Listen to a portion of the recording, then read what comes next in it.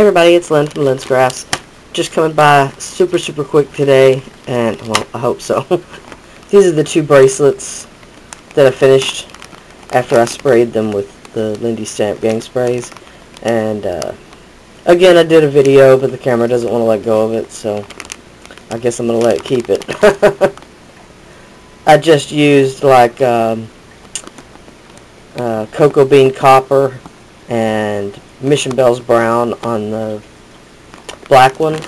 And on the maroon one, I used the same two and the, uh, oh, sorry about that, the um, mm, golden lump of coal.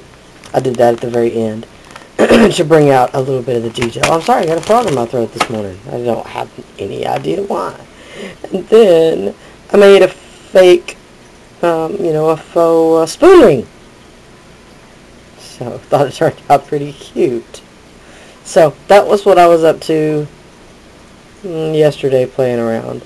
And then this morning I have made a bunch of ATC cards. Just plain, simple, um, non-dimensional ATC cards.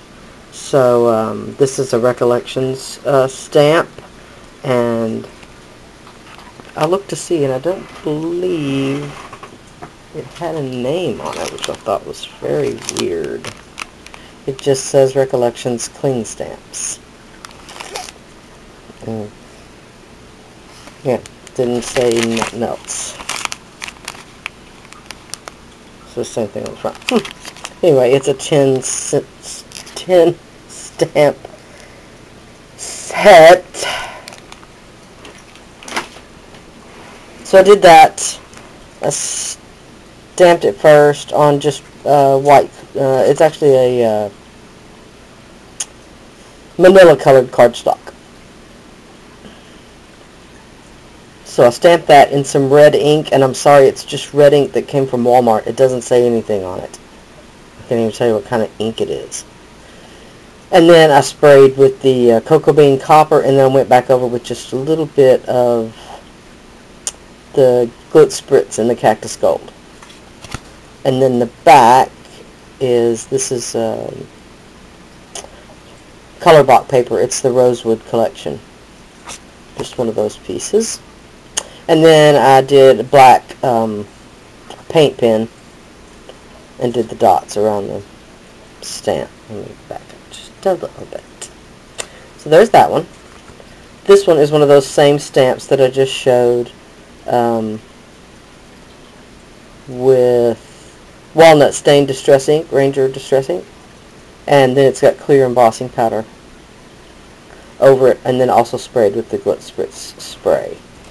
And then the back is, ooh, I got this from Beth, and I love it. Thanks, Beth. Isn't that pretty? If you could feel it, it feels like quilted paper. like it.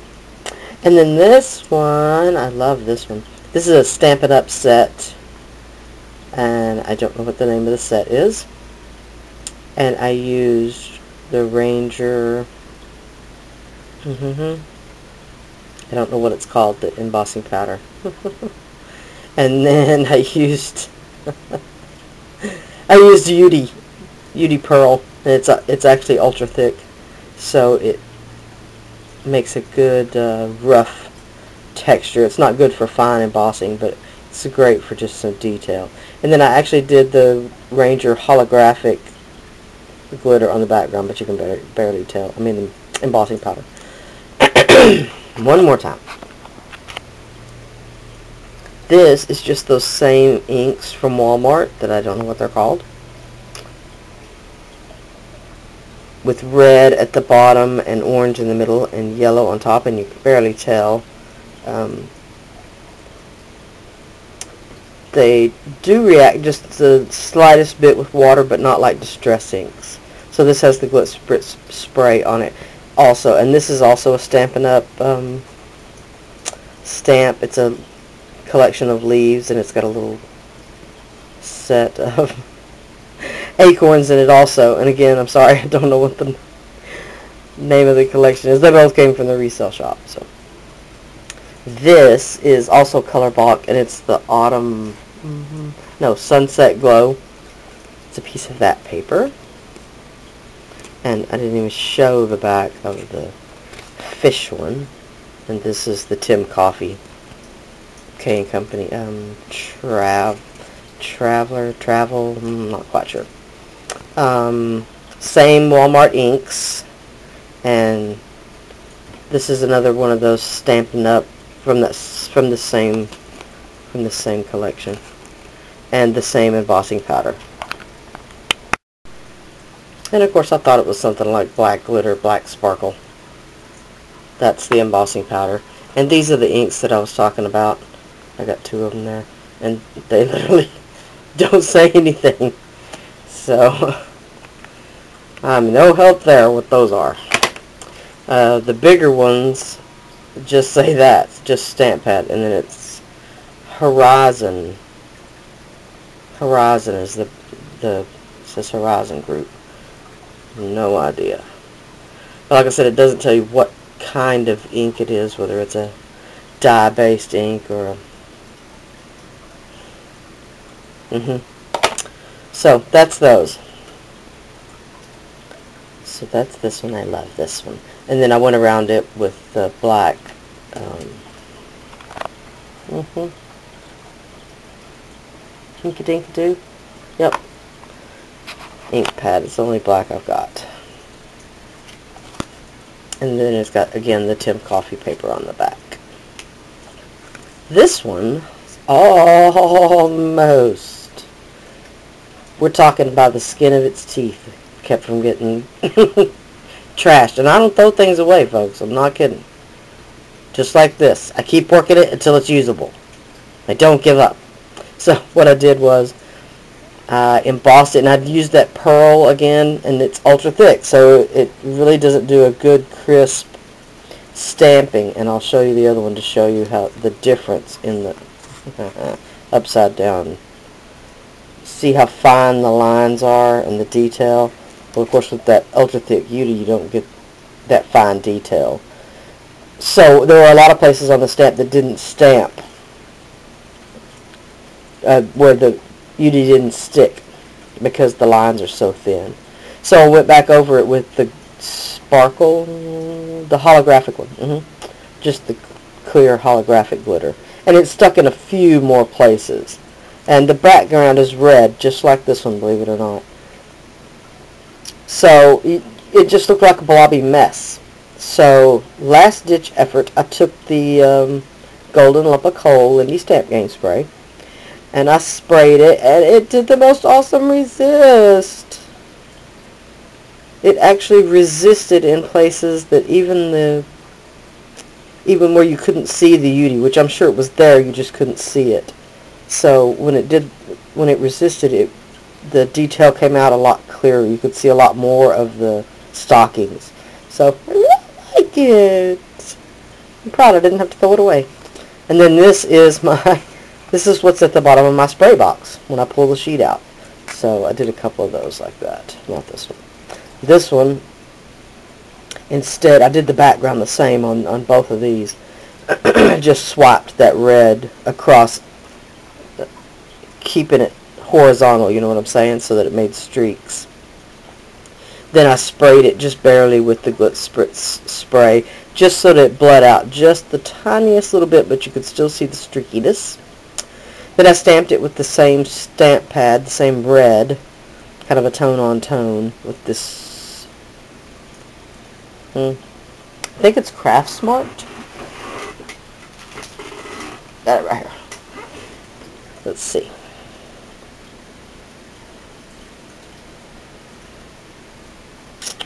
It is! I was right. Hallelujah. Cute little stocking. They don't have a name on do they? They just say Craft Smart. Yeah. So, same stamp. and then again, I did that holographic. No, this is the um, Poly Sparkle. Mm, and I may have those switched. It's either the holographic or the poly sparkle. But weirdly enough, it kind of stuck to the whole stuck to the whole card. So, which I didn't mind. It's you know, it's a holiday card. But that ink uh, doesn't seem to dry. It takes it forever to dry. Even after you heat set it, it still wants to get on you. Again, this one, I was not really liking it until I just kept going and kept going, so it's at least alright. Again, with the black sparkle.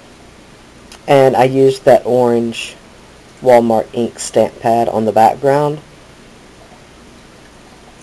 But you can barely, barely tell it. It's almost like it got lighter the more it dried. So, and then Magic is also from a Recollections um, stamp set, the one with the fairies, and I'm not sure what that what that's called either. I'm terrible. Here it is. Whoa. I'm thinking, oh, this one is actually called fairies.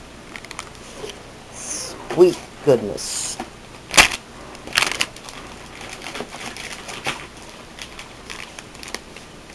Nope, this one just says cling stamps and then says it in Spanish, French, something.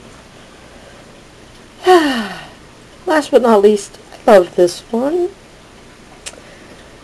Just painted the background with acrylic paint. And I didn't even leave the colors out. I know this is plum. This is Santa. This is persimmon. And then this one is so good. Bahama Blue, and they're all Americana. and I didn't think I remembered. And then this is the Lumiere um, paint. And I believe that's the antique gold. and of course, that's just hot glue art. So I didn't even, I just did the hot glue right on a piece of its cereal box. And again, that's some of my spray paper for the bottom of my spray box. Um, so this was like, was I think it was actually banquet chicken nuggets for my grandson. And um, I just painted the acrylic paint colors directly over the advertising on the cardboard. I didn't gesso it first. I didn't do nothing. So there's that one. And again, I glitz spritz sprayed it with the Cactus Gold and then went back over and rubbed it with the Lumiere paint. And see, look, I would have been wrong again. It's metallic bronze. So, there we go. Looky, looky, that's what I've been up to today. I had a blast doing something different. Um, I'll have another video um, to show in a day or two. I'm going to go ahead and video it today and um, hopefully get it sent out in the mail on Monday. So, and that should be the last of the clay videos for a little while. Um, you know how you get uh, not really burned out, but your mojo needs a boost. So I'm going to do something else for a while. So that is it. I will holler at y'all later. Hope y'all have a fantastic weekend, and I'll holler at y'all later. Bye now.